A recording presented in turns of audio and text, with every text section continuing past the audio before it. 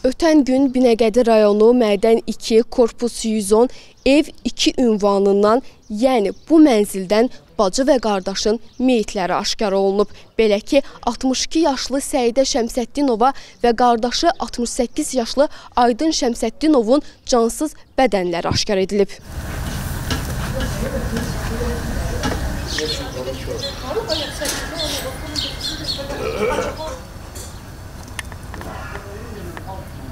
Mərhumun yaxınlarının verdiyi məlumata görə Səidə Şəmsəddinova illərdir şəkər xəstəliyindən əziyyət çəkib. Ötən gün dünyasını dəyişdikdən sonra Aydın Şəmsəddinov bacısının ölümünə dözməyərək özünü həyətdəki çardaqdan məhz buradan asaraq intihar edib.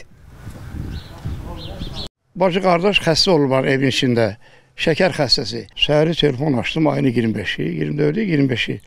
Cavab vermədi. Düz 12 kimi telefon açdım. Aydın bəy Bəli, Aydın görür ki, başçı yanında tələf olub, rəhmətə gedib. O da dözüm asıb özünü dedilər.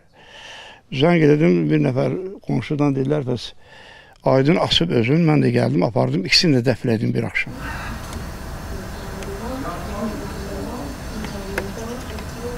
Qeyd olunan faktla bağlı Binəqədi rayon prokurorluğunda araşdırma aparılır. Araşdırmanın nəticəsi barədə ictimaiyyətə məlumat veriləcəkdir.